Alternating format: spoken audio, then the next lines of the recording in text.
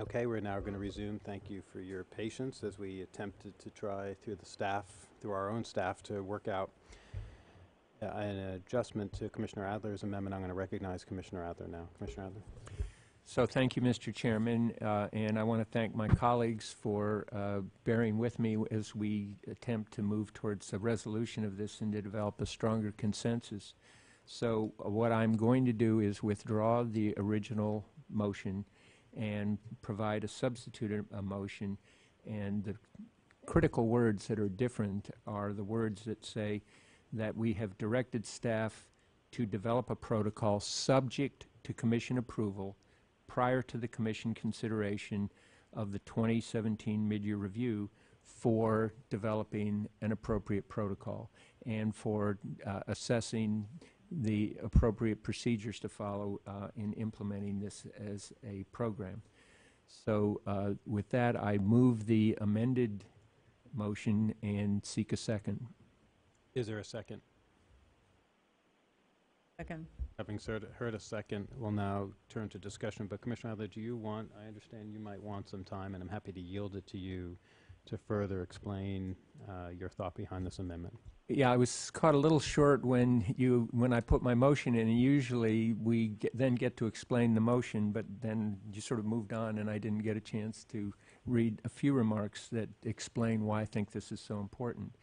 Uh, I think we all know that voluntary standards have in- gained increasing importance in CPSC activities over the past 30-plus years. This has resulted in part uh, because of legal changes to the Consumer Product Safety Act that direct us to give preference to voluntary standards over mandatory standards under certain conditions. It's also occurred because we've been directed to build mandatory standards for certain children's products on a framework of voluntary standards. Uh, and perhaps as important, if not more so, it's occurred because the agency and the voluntary standards community have increased our cooperation and collaboration with each other. And I say this as an observer of the product safety scene for over 40 years. I think relations between CPSC and the voluntary standards community have never been better. Um, that said, they can still be dramatically improved. And I want to point out, as I did before, one glaring shortfall in the voluntary standards process that folks in the voluntary standards community see as clearly as we do, and that is the lack of meaningful consumer input in far too many voluntary standards proceedings. And the reason's simple. Unlike industry participants, consumers and consumer groups, for the most part, don't have the resources to participate in such proceedings, nor do they have the same access to technical information that would enable them to engage at the same level as industry participants. And here's the critical point. The result is too often voluntary standards are developed that don't provide a full measure of safety to adequately protect consumers, and that's the point of this uh, um, amendment. I've had numerous conversations with friends in the voluntary standards community, and as I say, a lot of them share this concern.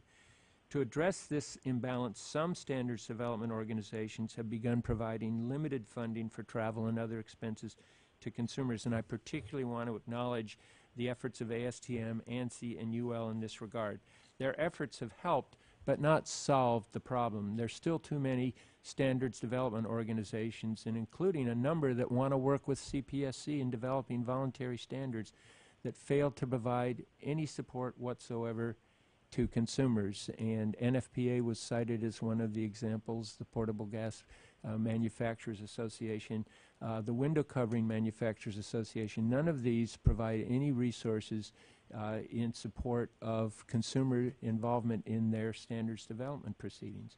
My amendment seeks to have CPSC establish a uh, program to provide resources for technical and other supports to consumers and consumer organizations for voluntary standards that are important to the agency. Uh, and I'm not going to read this next point because it's been mooted by comments that uh, Commissioner Mohorovic made, but I did want to make one final point. Again, uh, we've had a regulation on participation in voluntary standards that's been on the book for many decades, which gives the Commission the authority to provide funding support for voluntary standards development. It's never been implemented in the years since its adoption, but given our increased and increasing involvement in, standard, in voluntary standards development, I think the type of, time is ripe for us to help ensure that more balance is added to these efforts. Thank you, Commissioner Adler, and thank you for your flexibility uh, in terms of your amendment, and also to the other commissioners for uh, trying to find a path forward. I think that we'll get there, and I appreciate that we were able to, or hopefully that we're able to do that. I plan to support the uh, new, mo- the new amendment that you've introduced. Commissioner Robinson. Anything further? Commissioner Buerkle? I have nothing further, thank you. I do uh, just want to express my appreciation to the chairman and to Commissioner Adler for um, taking a step back and, and coming up, up with this amendment. Commissioner Mohorovic? Thank you, Mr. Chairman. I want to appreciate Commissioner Adler for his reconsideration, his uh, friendly amendment to his amendment to give us a better idea of what potentially we're about to, uh, to vote on in the future with regards to reallocation of our allocated, of our funds. I would like to point out that there is a very important stakeholder who will have the opportunity to consider what we're, what we're attempting to do with our appropriated dollars, and that is Congress, who have not voted for, voted uh, in final our FY17 appropriation, but only a continuing resolution to fund us through the end of the year. So they'll have the full opportunity to consider whether or not uh, they want to send us additional language to uh, encourage us or potentially discourage us from reallocating appropriated resources or to inquire whether or not we should put a particular amended line item in our requested funds to identify how much we plan on uh, sending outside of the CPSC to uh, private parties. I have no further comments, Commissioner Adler. Well, that certainly, uh, Commissioner Mohorovic's remarks certainly don't sound like uh, a friendly disposition towards this approach. If anything, it sounds like uh, uh, we can expect uh, a phone call or a visit to the Hill on his part, and I would just urge him to, at least until we've come up with a specific approach here, maybe to withhold uh, that approach and see what the staff comes up and with and see whether he agrees with it. Commissioner Robinson? Further? No. Commissioner Buerkle, anything further? Nothing further. Commissioner Mohorovic, anything further? Nothing further? further. Having heard nothing further on the Adler amendment, we'll now take the vote. Commissioner Adler, how do you vote? Aye. Commissioner Robinson? Aye. Commissioner Buerkle? Aye. Commissioner Mohorovic? Aye. And I vote aye. The yeas are five, nays are zero. The Adler amendment has been approved. Are there any further amendments? I have one, Mr. Chair. Commissioner Robinson? I am asking that we amend the operation plan um, to add on page seven, under other planned voluntary standards activities, um, the non-integral firearm locking devices and youth-resistant firearm security containers. When I first came to the commission, I asked about why we weren't doing more to make guns safer, and I was initially told, please do not mention the word gun. Um, and I did not for a long time. And I fully appreciate that the CPSC has explicitly been told by Congress that we do not have jurisdiction over guns or ammunition. However, we do have jurisdiction over two small but critically important areas involving gun safety. And I have to think particularly child safety drove those exceptions. Gun locks that are added to guns after manufacture to prevent it from being fired unless the locking device is removed, and gun safes, which are a secure and protective storage container for firearms, are the two exceptions when it comes to guns. So although we cannot do much to make guns safer, I believe we should do all that we can to make them as safe as possible. And I would like to thank Ted Alcorn, who's the research director at Everytown for Gun Safety, who presented testimony at our priorities hearing, and that left, led to an ongoing conversation with him over the past months, and he introduced us to a number of key people in the field doing amazing research and work on ways that we can encourage more people both to use guns, locks, and safes and uh, making sure that they're working properly, but also he um, introduced us to people who are doing some very exciting work in the area of gun locks and safes um, and some of the uh, technology that they're introducing. Um, in 2001, the CPSC tested 32 models of gun locks, and because I'm going to be talking about data in a moment, I would just like to emphasize here that there, there were not, and I can't fathom how there will be, data on gun locks being safe. But there was, there were no data at that time, but we took 32 models of gun locks, and 30 of them failed our tests. This prompted a series of recalls, and gun locks were distributed as part of a national safety education and outreach effort. And in 2004, ASTM passed a voluntary standard both with respect to gun locks and gun safes. Now, while those um, standards were reaffirmed in 2009 and 10 and 2016, there was absolutely nothing that went into that process, according to ASTM, other than merely polling the members of the committee. So there was no consideration of anything substantive with respect to those standards. Um, the gun lock standard for ASTM is F236904, um, and then 2016, obviously, and it's a standard safety specifications for non-integral firearm locking devices. This standard appears to contemplate only locks using a key or a mechanical combination lock. It doesn't allow for gun locks using electronic locks or locks using biometric or Wi-Fi technology. And the gun safe standard, again passed in 2004, um, is for lockable containers that completely contain firearms, um, and again, just has the technology that was in place in 2004. Now, as I mentioned, I don't think we're going to ever have the data that we need to support whether gun locks work. I'm having trouble thinking that any emergency room um, employee is going to put in the narrative that we look at in our NEISS data that a child um, was shot or somebody was shot by a child um, because the, the trigger lock did, failed. But here's what we do know. We do know that in the 12 years since the standard was examined substantively and past, there have been huge improvements that have ta- taken place with respect to technology. And we also know the horrifying statistics that there are more than 2 million American children living in homes with guns that are not stored safely or securely, and each of those children has friends who visit those homes. Less than 15% of the gun owning households report storing their firearms unlocked uh, and loaded. Um, and those households account for more than two-thirds of unintentional child shootings.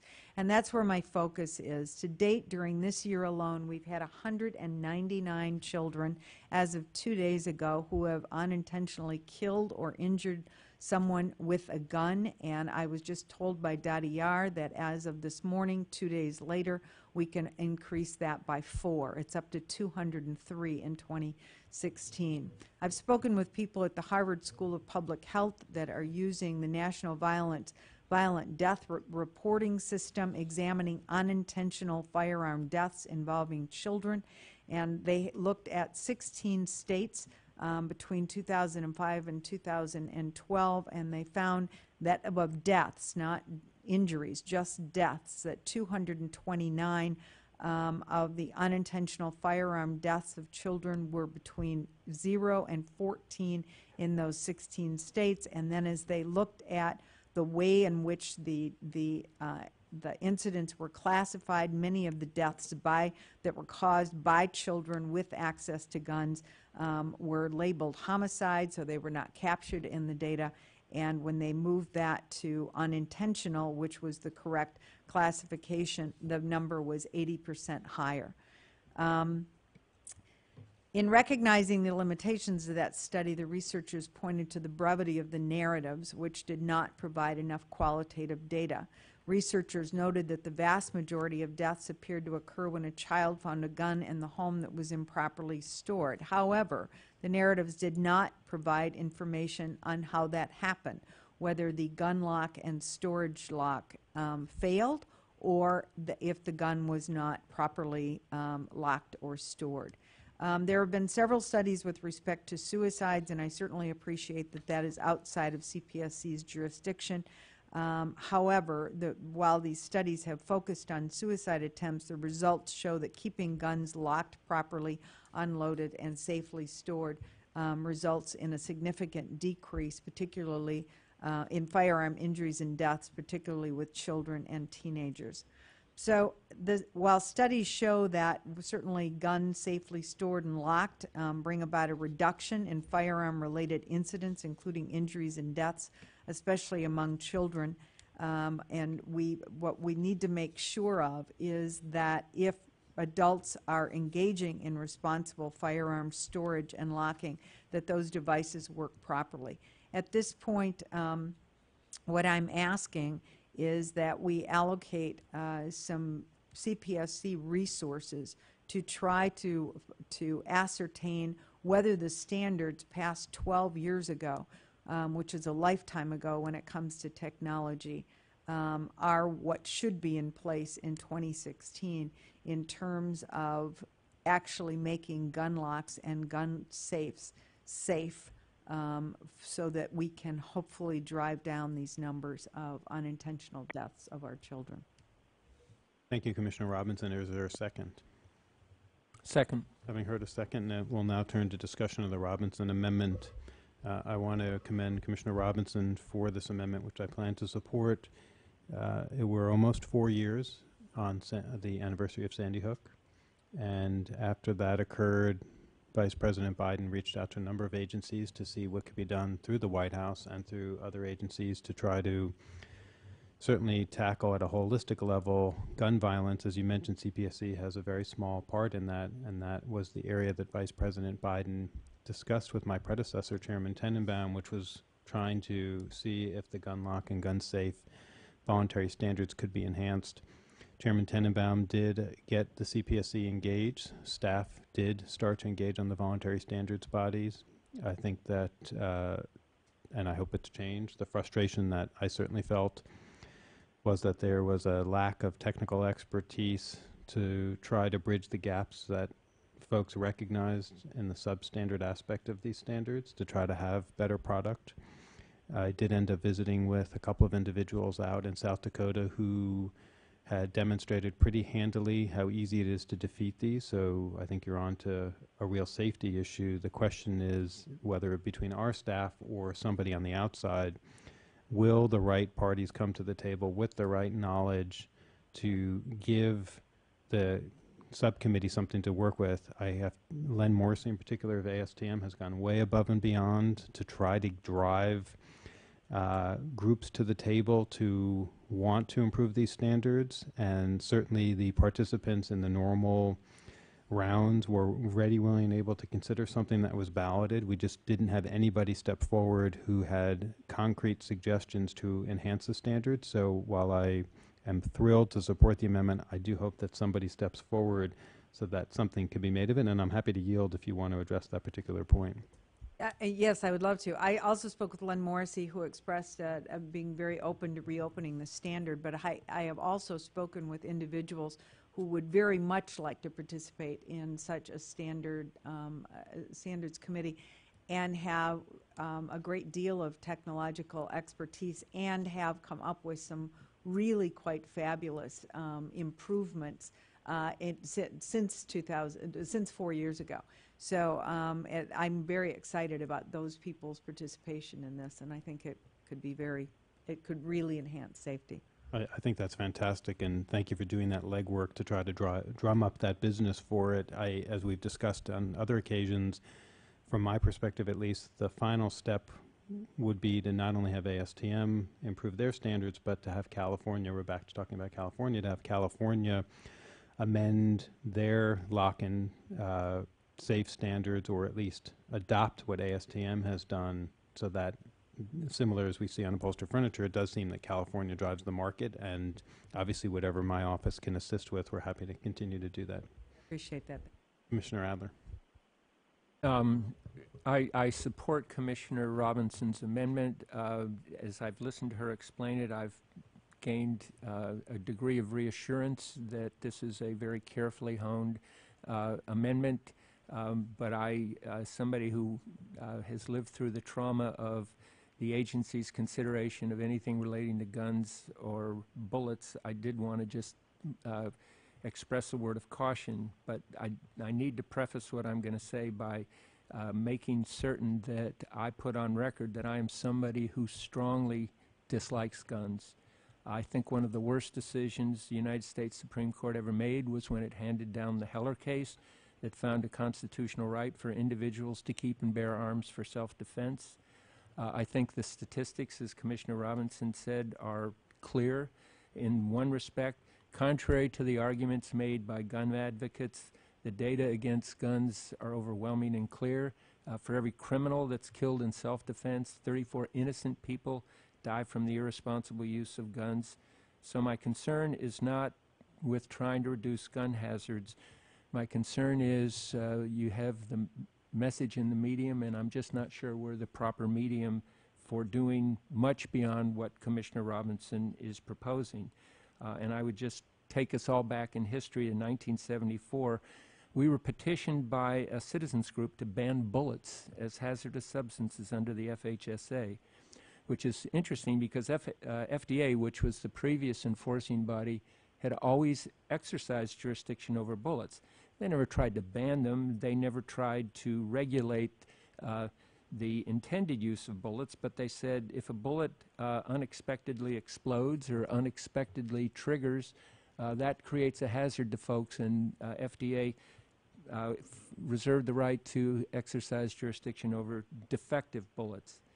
Um, so when it came to us as a successor agency, um, we admitted we had jurisdiction, but the commission, by a four to one vote, and I will point out my boss, David Pittle, was the dissenter, they denied any right to regulate properly functioning bullets. Uh, Commissioner Pittle said, let's at least explore the uh, petition. We were sued because of this decision, and the district court said, no, you're wrong. You have to fully consider the petition on its merits. And here's my concern. There was a firestorm of protest. We got hundreds and hundreds of thousands of comments within weeks of the judge's ruling. We sort of ground to a halt, to be honest. We actually had to hire staff just to open all of the letters that came in. And we had one staff person whose job was to put the death threats separate from the rest of the comments that came in. Uh, but before we could fully address the petition, Congress, in its full majesty, and they can act quickly when they want to, stepped in and removed any and all jurisdiction over bullets from the agency. So here's my concern. At the end of the process, consumers were actually worse off than when the petition was filed because we no longer had any ability to seek recalls of defective ammunition. We spent lots of very scarce, precious dollars and staff months on bullets that I would have preferred to see devoted to other hazardous products. So we ran headfirst into the doctrine of unintended consequences. So, in short, as much as I would love to see a strong federal response to control and regulate the irresponsible use of guns, I don't think we have the staff or the dollars to get in any in-depth approach to addressing this. So that's why I'm fine with uh, Commissioner Robinson's amendment. I just want to express at this point one uh, note of caution. Commissioner Buerkle. Thank you, Mr. Chairman, and I too want to commend my uh, colleague, Commissioner Robinson, and all of her work uh, that she's done on this issue. I don't have any questions this morning. Thank you. Commissioner Mohorovic. Thank you, Mr. Chairman. I don't have any uh, questions for Commissioner Robinson with regards to her, to her amendment, uh, but I would like to comment uh, that along with every responsible gun owner, I certainly share Commissioner, Commissioner Robinson's concern about kids getting unsupervised access to guns. The outcomes, as we've seen far too often, are beyond tragic. However, I have not seen the data to suggest that failure of gun locks or gun safes is driving those terrible outcomes. If that data existed and our staff agreed with the credibility of that evidence, I'm left wondering why our staff was not compelled to recommend participating in the voluntary standards Commissioner Robinson recommends we direct staff resources towards. So, in the absence of that kind of information, I cannot make a decision on whether or not it is an appropriate use of agency resources to redirect and involve our staff in those voluntary standards at the exclusion of others where there may be a more clearly demonstrated need. So, for those reasons, uh, I cannot support Commissioner Robinson's amendment. Thank you, Mr. Chairman. Thank you, Commissioner Mohorovic. Commissioner Robinson.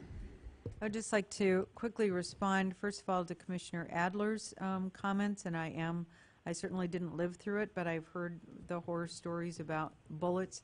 Um, I'm not for a moment suggesting that we're expanding jurisdiction here but rather making sure we're uh, making safe those limited things that are within our jurisdiction. And um, I, I, I share with you the, the sort of, um, I, I- I, don't know the, the exact word I want to use, but my Swedish son-in-law sent me an email a while back um, about my, about the state of Utah where I have a vacation home, and the subject line was "Things about your country I will never understand," and it was an article about the state of Utah um, deciding to have a state gun, not a state flower, not a state bird, but a state gun, and we have one there.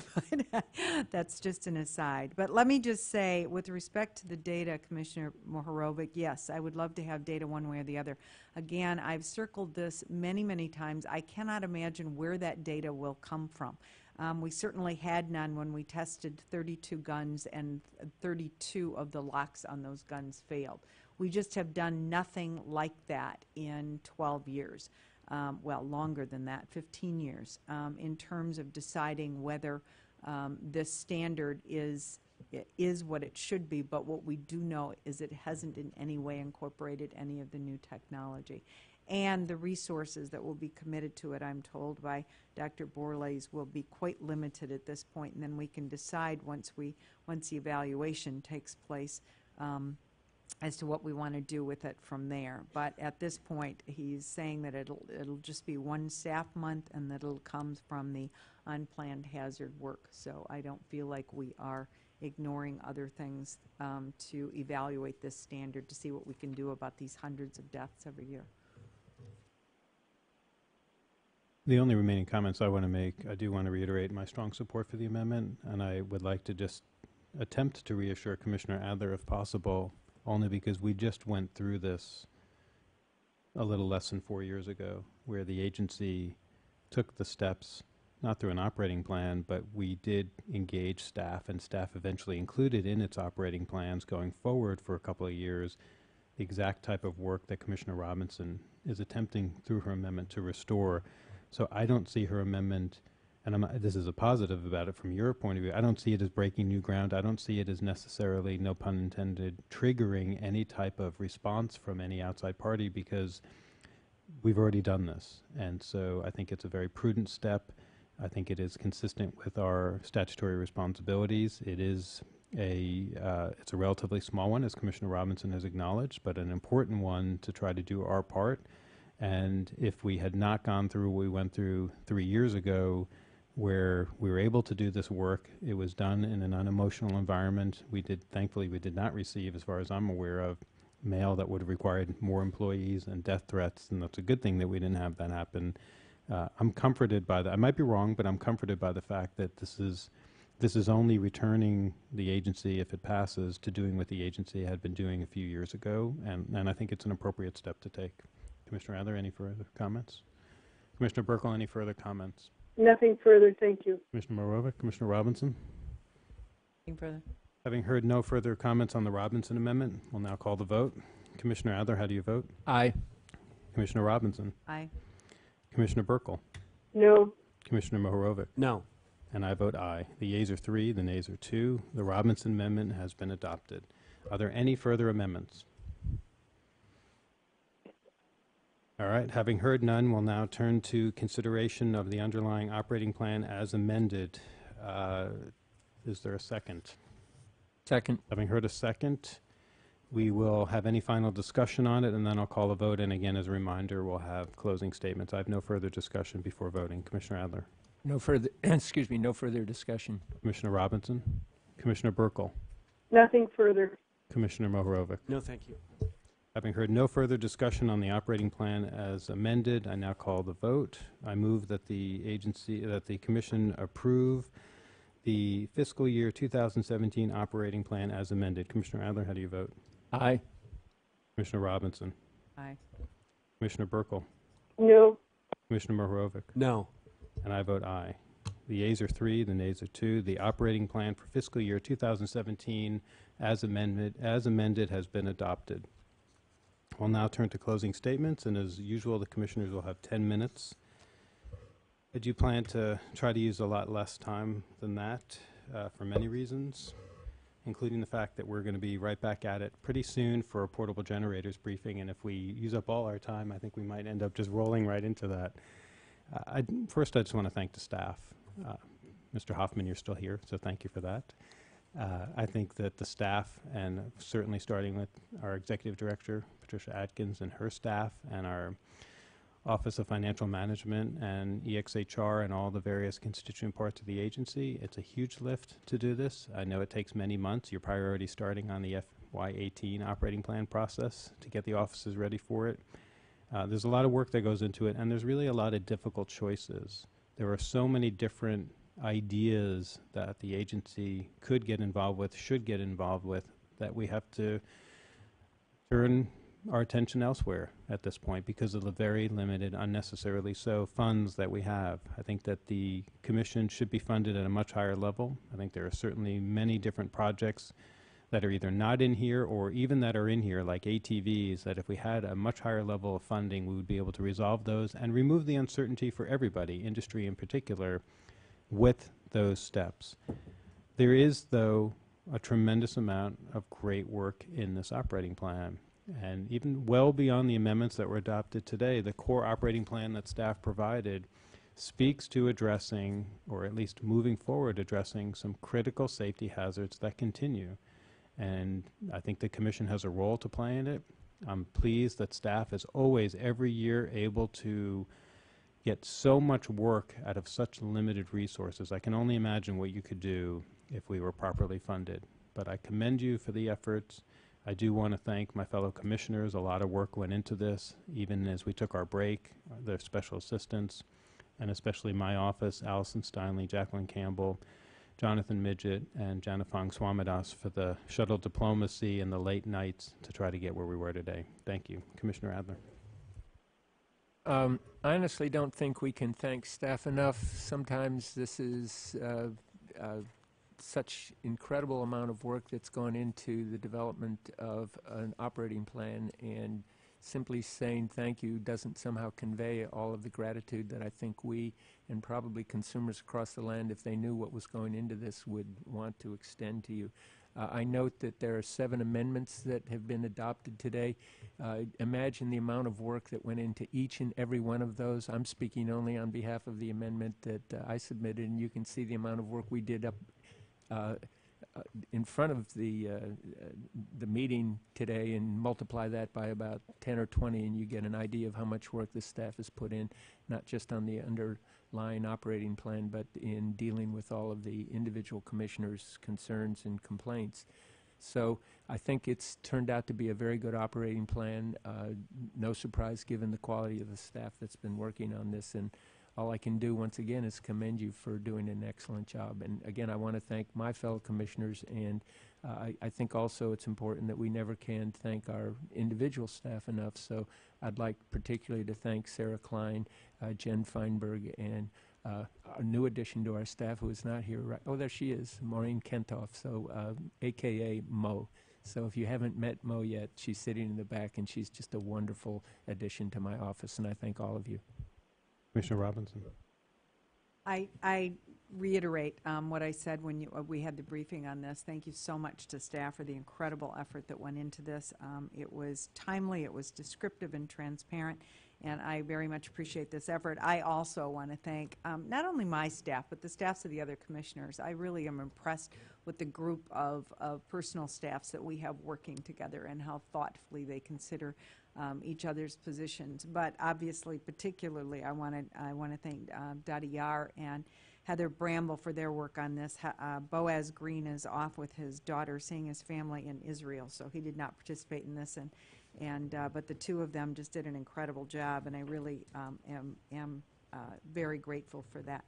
I'm delighted at this op plan that we have that we have voted on today, and I'm really excited about the work that we have committed um, to doing. As is often the case, we debated a number of amendments here here today, and I just want to thank uh, my fellow commissioners for the thoughtful amendments that they offered, and I was happy to give my my support. I also thank my fellow commissioners for the support on on my amendment. Uh, I- Just because we can't do everything doesn't mean we shouldn't do the tiny bit that we can, and I do think that this amendment, small as it was, will, will help in, in making guns safer, and I look forward to our staff's report on this. Um, And with respect to the amendments um, by, by uh, Chairman Kaye and Commissioner Adler, I'm very much looking forward to the work that staff is going, is going to do on, on this front.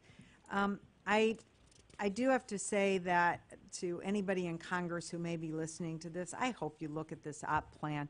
We are never-ending lists of projects that are related to consumer product safety that we all would like to do at the CPSC, and we'd like to resolve things more quickly, but our reality is we're small and we have very limited resources. But I really hope that Congress looks at this op plan and understands that if we do not receive every dollar that's allocated to this plan, it will be necessary to defer very important safety projects. And deferring those safety projects has real significant and potentially dangerous consequences for industry and consumers alike. I think we've been in the news more than uh, pra- practically any other agency recently um, because of dangerous and new products and newsworthy recalls that clearly show um, how, what an excellent job CPSC can do in protecting consumers, but also the need for us to be able to quickly respond um, with technical solutions and innovative ways of ensuring safety. And we need appropriate funding to do that. Um, Heather Bramble was saying to me yesterday that this is her favorite thing that she does here at the agency. We deal with so many um, distinct projects, but the op plan is the macro of what we do here at the agency. And I completely agree with her. And every time we do the op plan, I find myself re-energized with respect to what we do here at the agency. We're three weeks out from a really ugly election. the ugliness of the past year, months, weeks, days has been so disheartening and deeply troubling to everyone I know.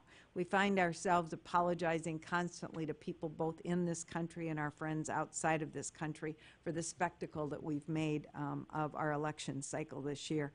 Um, and I, it's the first time in my lifetime that I've seen how quickly a great country can become diminished so quickly. Yesterday morning, I found a smile in listening to an NPR piece on some Canadians who put together a video that, if you haven't seen it, you should, to tell us how great we are. I love that someone tweeted that it's always nice to have a kind upstairs neighbor when mom and dad are fighting. Um, and today we have we're. I look at what we did today, though, and we have a small but a critically important reminder of what makes this country great.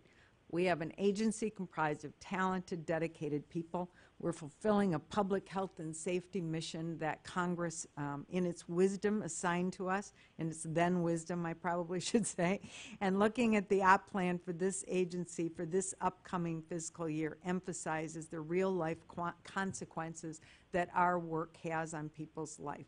And I would just say that I'm grateful and humbled to be a part of the process. Commissioner Buerkle?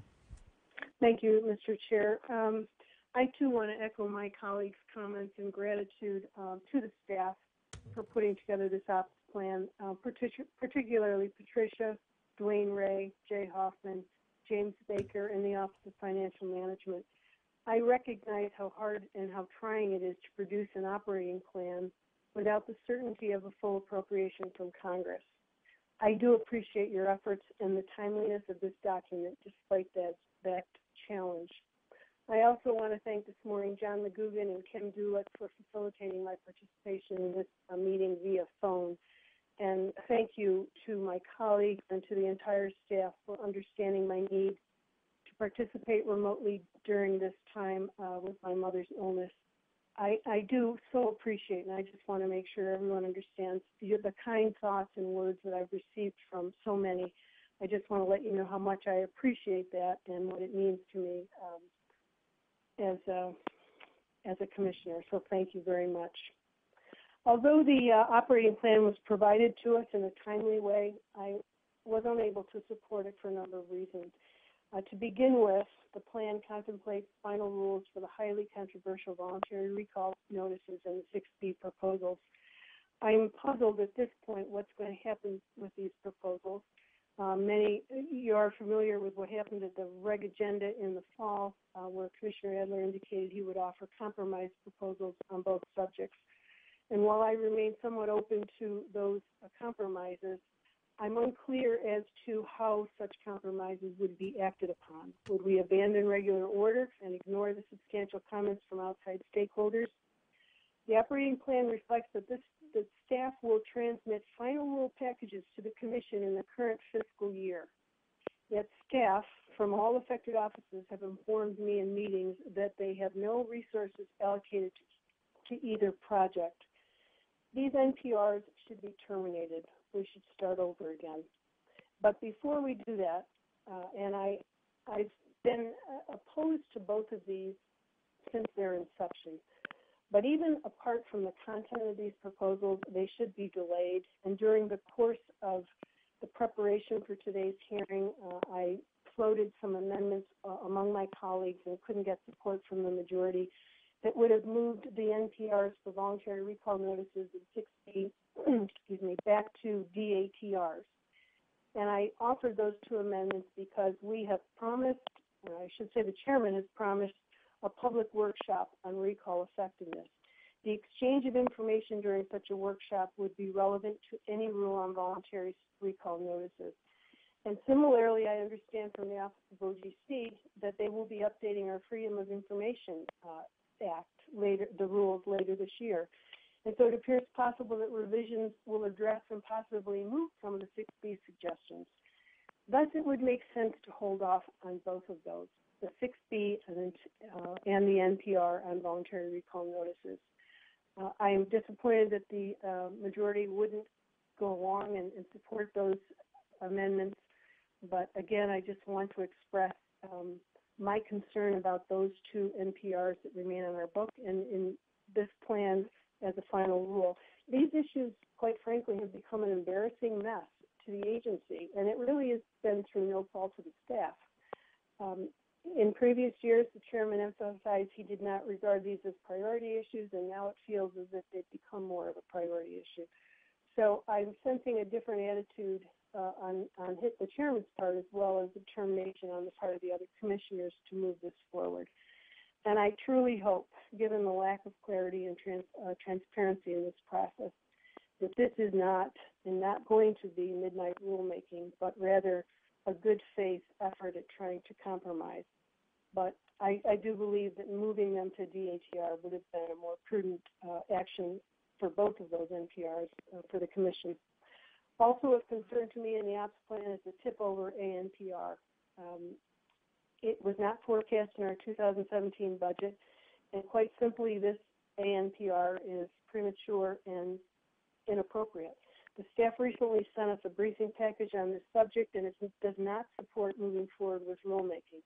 The existing voluntary standard is barely two years old, and there is no evidence whatsoever that the standard is inadequate. I've asked staff explicitly whether they are aware of any deaths or injuries resulting from tip overs of dressers or other clothing storage units that comply with the 14 standard, and the answer is no it's inappropriate to press for improvements to a voluntary standard at this point. We would be far better off helping manufacturers to improve their designs and meet the current voluntary standard rather than moving the goalpost again so soon. On portable generators, the operating plan contemplates the final rule in the current fiscal year. This is another area where I think we should hold off on the rulemaking. Our staff has been working for years on a way to limit carbon monoxide emissions from portable generators. I appreciate their intensive work. We've met with them uh, on a regular basis to learn about their progress and their engagement in this area. Their efforts have spurred a tremendous amount of activity in the private sector. Only recently, there has been a breakthrough with the industry promising to open the voluntary standard and address the CO hazard. Some argue that the industry won't move forward until we actually propose a mandatory standard. That argument is contradicted by the industry's recent activities and voluntary standards commitment.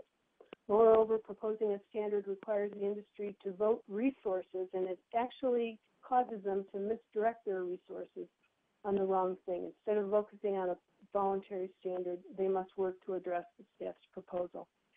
In the case of portable generators, there are additional reasons to support voluntary standards in preference to mandatory regulation. There are serious questions about our legal authority to regulate carbon monoxide emissions. And while I will get to those concerns in greater depth in this afternoon's hearing, I will say that if we pursued a voluntary standard, we could alleviate any legal issues that should be um, that would be uh, my strong preference is to to follow the voluntary standards. Speaking of um, ROVs, uh, I would encourage the staff to save uh, some of their own time, and we've talked about this with the chairman, and resources by combining a briefing package on the voluntary standards with recommendations to terminate rulemaking if they consider that that's the appropriate outcome. With regards to upholstered furniture, the commission staff has labored for years to try to develop a regulation in this area. In the 16 ops plan approved last February, I sponsored an amendment asking for a report on the California standard TB 117 and a comparison to our own rulemaking proposal. Staff produced a very significant report with remarkable conclusions, including a recommendation to terminate rulemaking in this area. I think we need to seek public comment on that document, and per the chairman's suggestion, uh, that is something that I will pursue and discuss with him uh, as we go forward here and possibly come up with something at mid-year. Uh, just as concerning as what's not, what's in the ops plan is what's not in the ops plan. There are no resources dedicated to the workshop on recall effectiveness or Section 15B reporting. And I, I understand it's being run out of the chairman's office, but I think it's naive that staff will not be required at some point to join along the way. There are, these are important topics that deserve serious attention, not just check the box. Once again, there's no funding for an information and educational campaign for window covers. I know this is not a popular option for staff, nor some of my fellow commissioners, and I understand um, in comments made that the chairman believes there's no uh, that, that education campaigns are ineffective. But it seems there are some exceptions to that. Yet we don't hesitate in, to uh, insist that industry invest in these INE campaigns. It seems to me we should partner with, with industry, and there could be some uh, real benefit derived that with a robust and sustained INE campaign that would advance the safety critical message excuse me, a critical safety message on the importance of using cordless products to families and wherever children are present. I think we could have an effective INE campaign if we could get behind that um, in the agency. Another issue that uh, remains of concern to me is key senior staff positions remaining vacant, also troubling. We're putting forward a plan here that expands initiatives and takes on new ones, while numerous of, uh, of of our directorates have no permanent leadership. That's a void and it needs to be addressed, and I do hope we will fill these uh, positions as soon as possible. In closing, um, and I do want to thank my staff because they have been, um, Giv Mullen, Nancy Lowry, and Caitlin Costello, they've been put at an extra disadvantage with my absence this week and how hard they've worked to uh, to get all of the information to me in, in, uh, in our phone calls. So I do appreciate their work and I thank them. In closing, uh, while there were changes that, if adopted, that uh, would have made this plan more acceptable to me, um, my fellow commissioners have made it clear that they will not accept the necessary changes, and thus offering them would have been an exercise in futility. Many of the amendments adopted here today give me even greater concern, including crib bumpers being treated as a durable, durable nursery product, the use of our resources um, to work on upholstered furniture flammability. In the end, this is a document that is much more reflective of the majority's policy and therefore not one that I can support as it takes this down this agency down a path that I don't believe is is the appropriate role of government. I think the role of our agency is to protect consumers from unreasonable risk. It is not to use the threat of rulemaking and questionable compliance activities as a tool to bully industry into doing what we want, or worse, to engage in activity that can be interpreted as an abuse of power. Our policy decisions and agency actions should address actual risk and should be driven by sound science and data. Thank you. Commissioner Mohorovic. Thank you, Mr. Chairman. Uh, I'd like to associate myself with the thoughtful appreciation expressed by my colleagues for all the staff that contributed to this operating plan and, of course, uh, to this uh, decisional hearing today. I would like to recognize and thank my staff, Bryce Dustman, Mike Gentine, and Ryan Radford also for their late nights and tireless work on this effort. And Commissioner Buerkle uh, alluded to it very briefly, but I'd like to reemphasize the appreciation for the regular timing with which this operating plan was delivered to the commission, deliberated and considered. So special thanks to our executive director for that, uh, as well as to Commissioner Robinson for her uh, unending support for that kind of a process, and as well to the chairman for agreeing to uh, put this in regular order. So uh, I very much hope that we see our operating plans at the same time frame. Uh, But I did vote uh, against the FY17 operating plan uh, for, for several reasons. Um, The first point that I'd like to make is that uh, I I shouldn't really be shocked to find that there's midnight regulations at the CPSC. Uh, For those that have visited my office, I have a not too subtle reminder uh, and warning that uh, by, by virtue of having Wilson Pickett's Midnight, uh, Midnight Hour album uh, at my entryway as a bit of a prediction that um, after two years of, uh, of saying we're not going to move on the voluntary recall rule and 6B rule, it looks like, lo and behold, uh, through this operating plan and through the expressed uh, desires of uh, the majority, that we will move on those particular rules. Uh, so for two and a half years that I've been on the commission, I've been voicing my concern that the proposed voluntary recall and 6B rules, which are among the most controversial proposals this agency has ever offered, would spring to life in the waning moments of this administration. I've been worried that just when our stakeholders had been lulled into thinking the rules were hard, harmlessly asleep, that these two regulatory snakes in the consumer product grass would pop up and bite. And my spidey sense started tingling first when our regulatory agenda came to us. And it went on to full burning when our hearing on that agenda revealed that my colleagues had been working on a plan for those rules and that they hoped to have wrapped up by right around the current administration's midnight hour. So when this operating plan came to us, contradicting the assurances we've given the public, contradicting what we've told Congress we were up to and doing, contradicting the budget request we made for the year, and even contradicting the advice of the most progressive chairman this agency has ever had, I still was hardly surprised. But there are two things in this plan that did surprise me. And worse, they, came, they just came up today, not as part of the staff package. So there, there'll be, I predict, very big surprises to everyone outside of the agency. First, I was surprised by Chairman Kaye's amendment to regulate crib bumpers as if they were a durable infant and toddler product under Section 104 of CPSIA. If crib bumpers are durable products, I don't know what wouldn't be. That surprises and frightens me. Now, I can't say that Chairman Kaye's amendment represents midnight regulation. By putting it in the operating plan, he is giving everyone a loud and clear signal of just how expansive his view of Section 104 is. However, the fact that we can see it coming does not make it good policy, and it does not make it an appropriate use of the limited authority that, sec- that, that section grants us. Now, second, I was surprised by Commissioner Adler's suggestion that we should divert public money into private pockets, do it without specific statutory authorization or congressional approval, and do it without any guidance or direction to staff. But I'm very pleased he was kind enough to take that suggestion, and at a minimum, we should see the entire plan and protocol staff believes is appropriate before we vote to send $1 out of our very limited bank account. On that note, one thing that troubles me in this plan is that both before and after today's amendments, it devotes resources away from where I believe the agency should be. As anyone who is paying close, close attention to CPSC knows, this agency has an astonishing number of vacancies in senior, mission critical leadership positions, including our Director of Import Surveillance, our Deputy General Counsel, our Deputy Executive Director, and our Director of Compliance.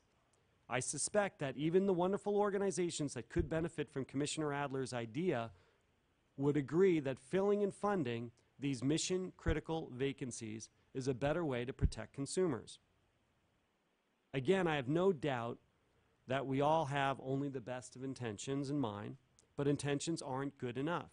We need to hold ourselves accountable, not just for our intentions, but for our actions.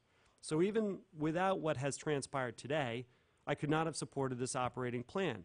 It allocates resources in ways I do not believe are our best path towards greater consumer safety.